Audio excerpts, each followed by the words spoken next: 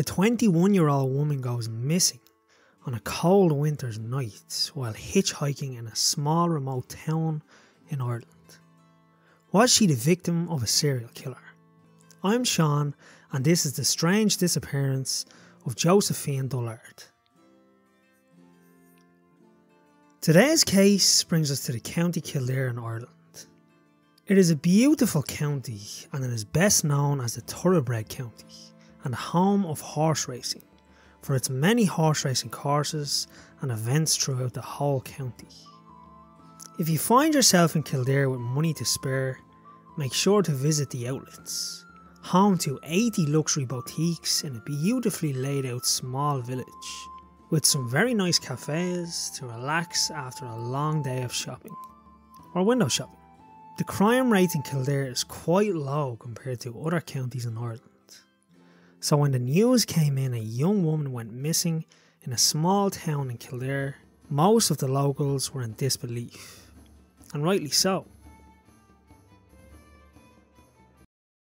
Josephine's case is widely linked to the missing women of the Vanishing Triangle, and she likely fell prey to a man she took a lift off, who could also be linked to some of the other young women who went missing in the 90s.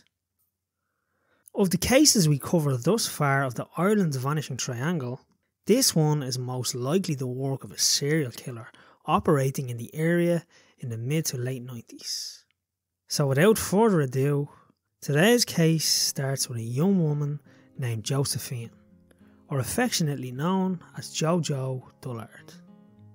She was born in County Kilkenny on the 25th of January 1974 making her 21 at the time she disappeared. She was the youngest of five children, and sadly, her father, John Dullard, passed away before she was born.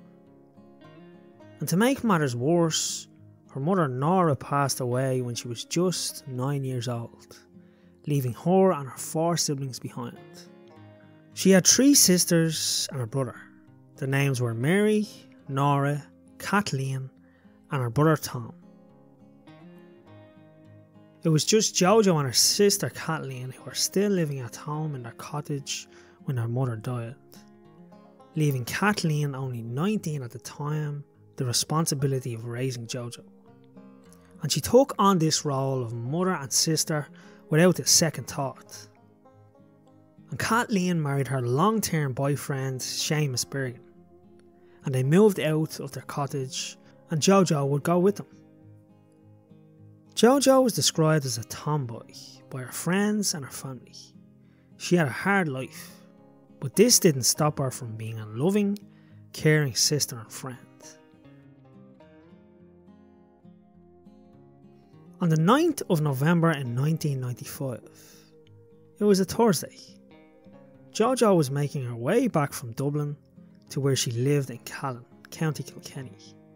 She was a qualified beautician but she left her job and she had started a new one in a local pub and restaurant called Dawson's.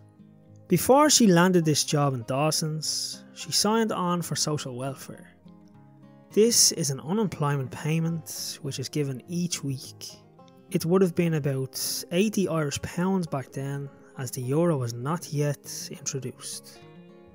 For this payment, you would have to sign on every month and Jojo signed on in Dublin. And as she got a job, she had to sign off the social welfare in person, and this was the reason for her trip into Dublin that day.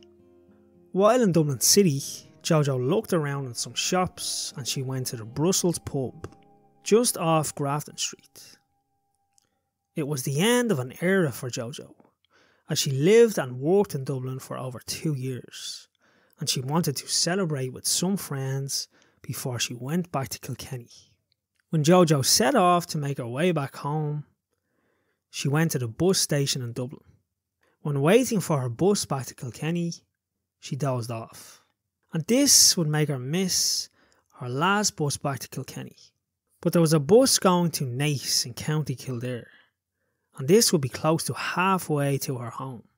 So she got on this bus with every intention to hitch a lift from Naas when she got there her plan would come together, as when she arrived in Naas, she quickly hitched the lift, and she would get dropped off at Kilcullen, and from there she hitched again to a small town, Moone, which was still in County Kildare.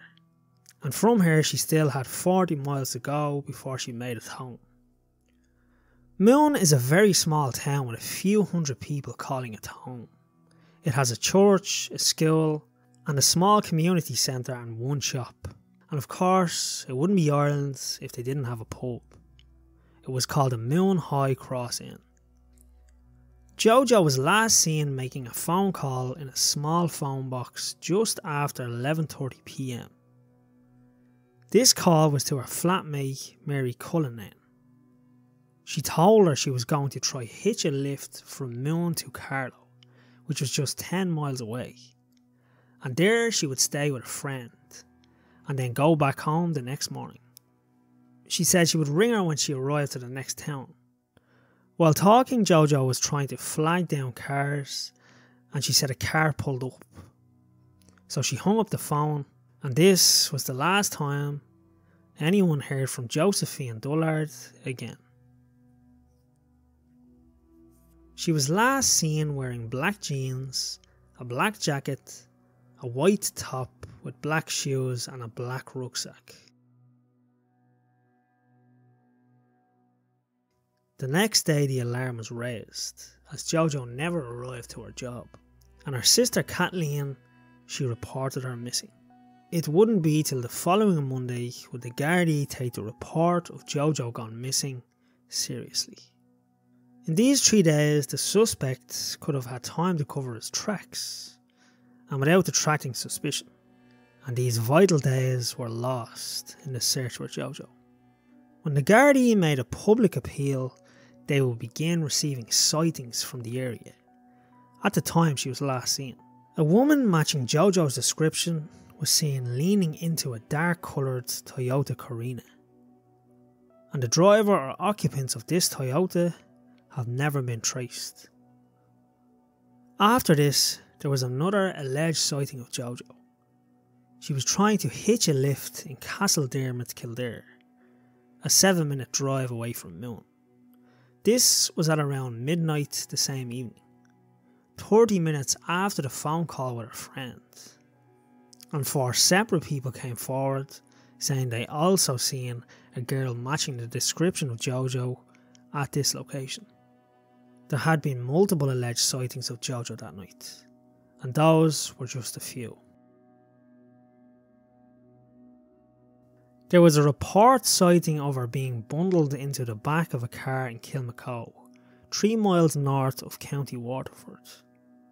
The taxi driver who came forward a year later, he said he was driving on the main road at Kilmacow at around 1.20am on the morning of the 10th of November and he seen a red car with English reg plates pull up on the side of the road.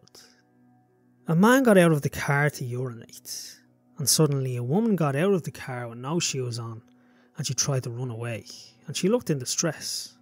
Within seconds, a second man came from the back of the car. He grabbed her by the hair and dragged her back into the car, and they took off into the direction of Waterford. He thought it was best to mind his own business, but when he later heard of Jojo's disappearance, he came forward to tell the Gardaí. The investigating Gardaí remembered the night after her disappearance and after the alarm was raised. They had arrested two Englishmen in Kilkenny for breaking into phone boxes and stealing coins. They tracked them down to Portsmouth in the UK, and they learned at the time of Jojo's disappearance, the pair would cross on the ferry from the UK, travelling through Irish towns robbing phone boxes. And when they were questioned, they couldn't account where they were and what they were doing when Jojo disappeared. They would travel in a car from town to town, so the Gardaí stripped the car they used and they found nothing. But they found the pair had checked into a hotel in Cork on the day of Jojo's disappearance. And they called back home to England at 12:30 a.m. from the hotel.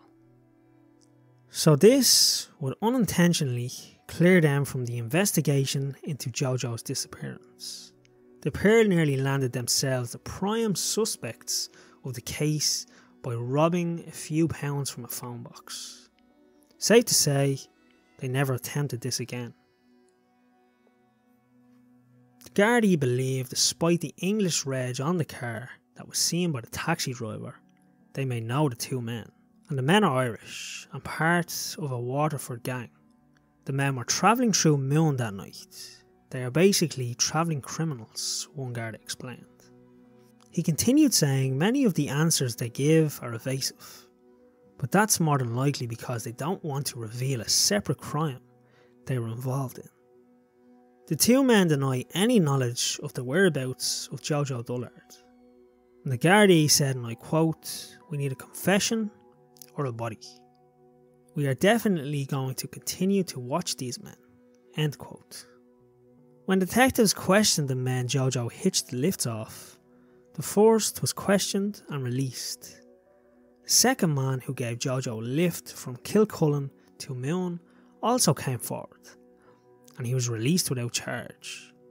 Gardaí would then check who was around the area at the time, and a few people came forward.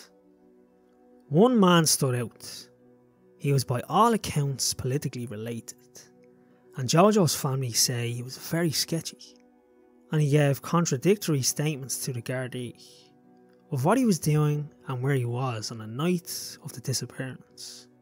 But the Gardaí could not find sufficient evidence to charge him or have a search warrant granted, so they had to let him go. And six months later, Jojo's family hired a private investigator to look further into this man. The investigator travelled to Wicklow and he went to this political man's house under the pretext of seeking directions to a nearby golf course. The investigator said he had a very uneasy feeling about the man from the get go, and he had a scar on his face which looked fresh, and the investigator said it may have been done by a fingernail. The family have heavily campaigned for this man's private land to be searched, but with no success. Shortly after Jojo's disappearance, the family received a letter from a woman. In it, she explained she was the ex girlfriend of the prime suspect, and she said he abused her, and that he was a very violent man and not to be messed with. Sadly, Jojo's sister passed away from cancer in 2018. And before her death, she said she would never forget that letter. It said you would not want to know what type of man he is. He is not the type of man you would like to know or meet.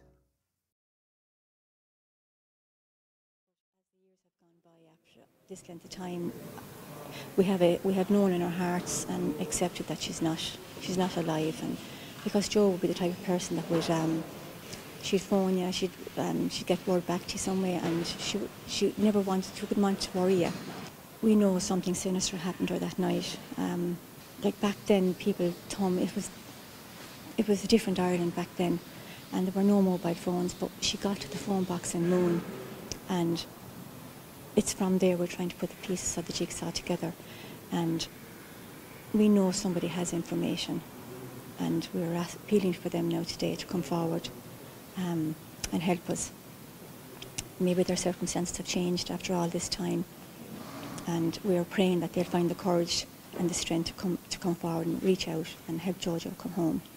We, we don't hold any grudges. The most important thing to us today, after all these years, is to bring Jojo home